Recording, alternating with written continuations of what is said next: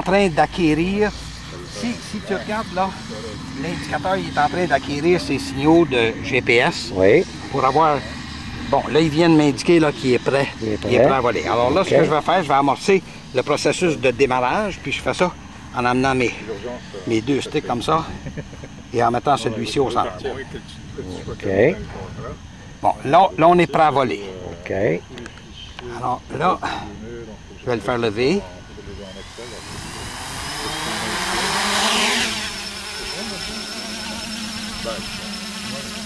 Alors, le but de l'exercice, c'est de voir si le fail-safe fonctionne. C'est ça. Le fail-safe, c'est un, c'est un, mode d'opération qu'il a qui lui permet de revenir en haut de son site de démarrage et puis d'atterrir. Fait que là, je vais, lui faire faire là, deux, deux trois petites euh, affaires. On va le faire tourner de l'autre côté.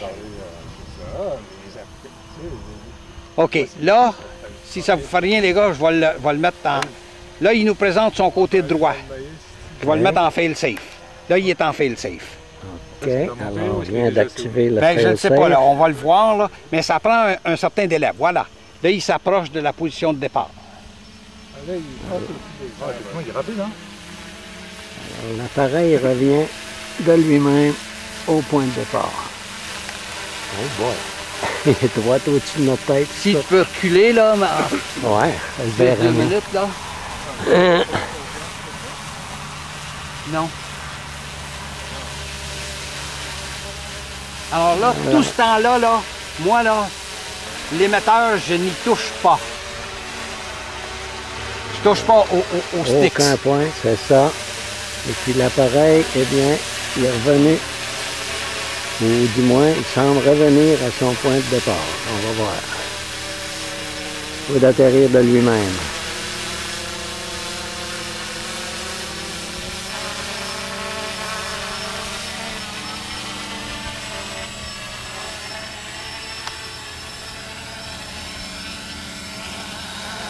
Et voilà. Expérience réussie. Ça fonctionne. Bravo. Je suis, je suis très heureux. Avec euh, plusieurs observateurs.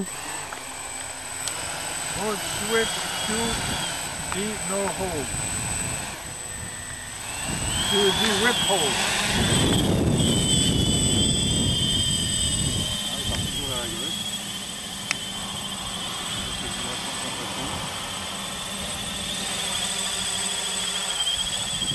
On va à droite. 11.35.